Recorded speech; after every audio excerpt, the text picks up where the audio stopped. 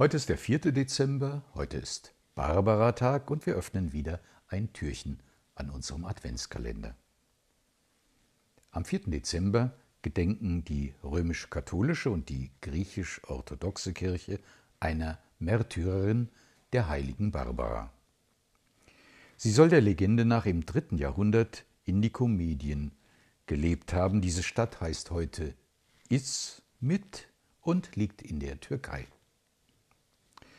Der Legende nach wurde Barbara von ihrem heidnischen Vater, dem reichen Dioskuros von Nikomedia, in einen Turm eingeschlossen, weil er auf seine bildschöne und verführerisch junge Tochter eifersüchtig war und sie am Heiraten hindern wollte.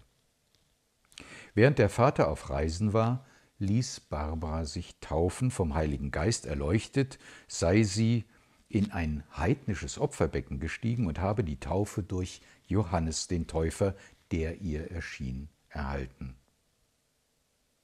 Noch anders wird erzählt, dass Barbara dem Vater um den Bau eines Bades gebeten habe, nachdem sie nicht die vom Vater angeordneten zwei Fenster, sondern drei als Zeichen der Dreieinigkeit habe anbringen lassen, ein Kreuz mit der Hand in den noch feuchten Putz gedrückt und ein kostbares Kreuz auf den Sockel eines gestürzten Götterbildes gestellt habe, empfing sie im Bad ihres luxuriös eingerichteten Turmes die Taufe. Als ihr Vater von der Reise zurückkehrte, stellte er sie, empört über den veränderten Bau, zur Rede. Sie offenbarte sich ihm nun als Christin.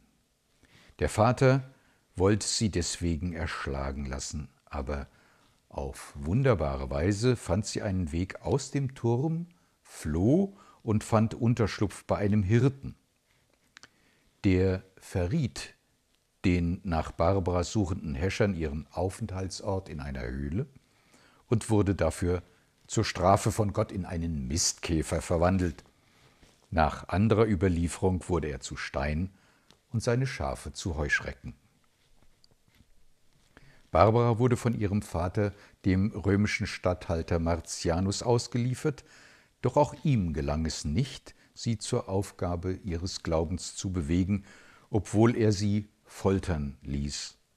Barbara sprach von den Geiselungen, als ob es Pfauenfedern gewesen seien. Nachts erschien ihr dann Christus im Gefängnis, um ihre Wunden zu heilen. Der erbitterte Statthalter ließ Barbara mit Keulen schlagen, sie mit Fackeln brennen, das alles konnte ihr wenig anhaben und sie nicht vom Glauben abbringen. Schließlich wurde Barbara vor Gericht gestellt und verurteilt, sich nackt auf dem Markt den Blicken der Leute preiszugeben. Auf ihr Gebet hin wurde sie aber mit Wolken und Nebel bedeckt. Daraufhin sollte sie enthauptet werden. Der rachsüchtige Vater selbst hat das Urteil vollstreckt, gleich darauf traf ihn ein Blitzschlag und er verbrannte. Als Heiligenfigur wird sie häufig mit einem Turm im Arm dargestellt.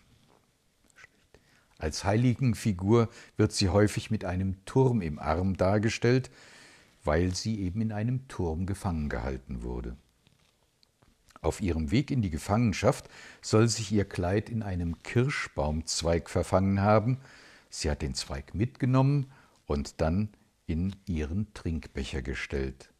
An dem Tag, an dem sie zum Tode verurteilt wurde, blühte der Zweig auf. Du schienst wie tot, sagte Barbara zu dem Zweig, aber du bist aufgeblüht zu einem schöneren Leben.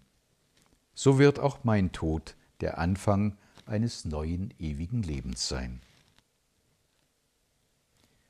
Heute ist die heilige Barbara Schutzpatronin der Bergleute, der Geologen, der Architekten, der Dachdecker und der Gefangenen.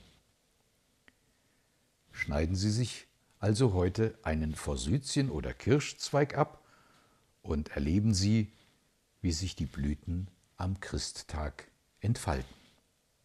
Ich wünsche Ihnen einen Guten Tag, bleiben Sie hoffnungsvoll wie Barbara.